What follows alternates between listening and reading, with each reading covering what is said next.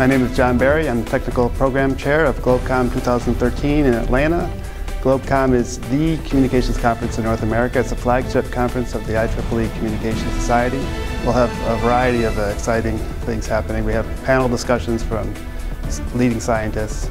There'll be a mix of industry and academia. Uh, there'll be several keynote addresses, of course, from leaders in industry. On Monday and on Friday, we'll have tutorials.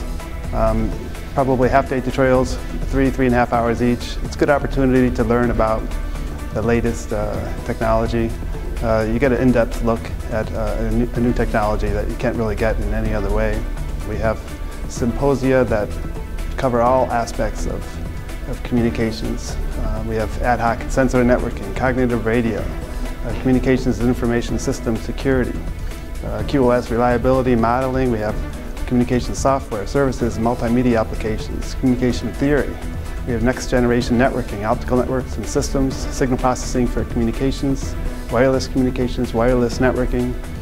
And on top of those 11 symposia, we have a special dedicated symposia to selected areas in communications.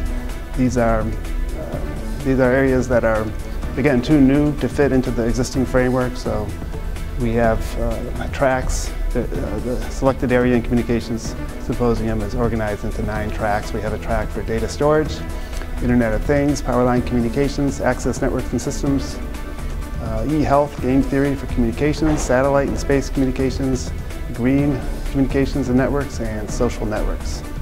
So we have an exciting uh, array of uh, technical activities planned. So I hope to see you all in Atlanta in December of 2013.